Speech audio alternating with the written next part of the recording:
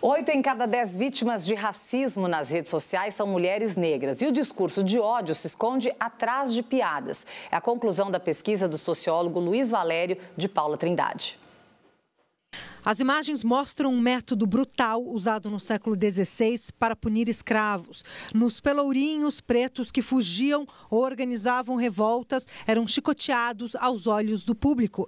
Eles serviam de exemplo para que outros não ousassem seguir o mesmo caminho. Os pelourinhos do Brasil moderno do século XXI são as redes sociais.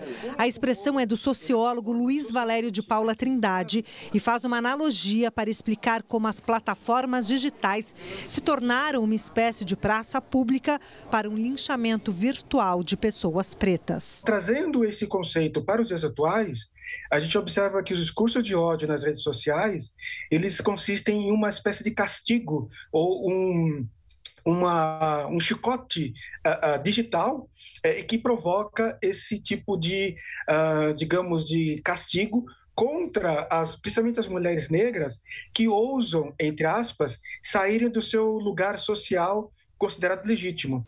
O sociólogo e doutor por uma universidade na Inglaterra é autor do livro Discurso de Ódio nas Redes Sociais. A obra é resultado de uma pesquisa feita em publicações nos perfis de celebridades e de pessoas comuns.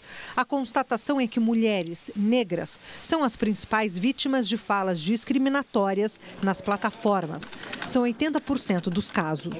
E esse discurso de ódio é normalmente apresentado como piada, tornando a violência conivente para o agressor que com frequência alega que tudo não passou de uma brincadeira. Esse tipo de prática, ao contrário do que muitas pessoas imaginam, por estar, por ser manifestada no ambiente virtual, ela tem consequências, sim, tem impactos na vida real das pessoas.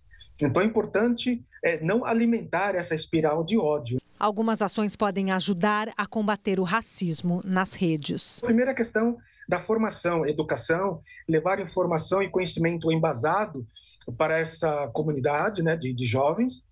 É, outra prática também consiste em não replicar esses conteúdos